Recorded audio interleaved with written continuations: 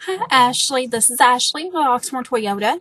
I wanted to send you over a quick video greeting. That way you can see who you'll be working with. Thank you so much for your recent interest in trading in your Galant. When you get a moment, please give me a call. My number is 502-214-7166 or email me back. I'd love to schedule a time for you to have your vehicle appraised. Thanks. Bye. Yeah.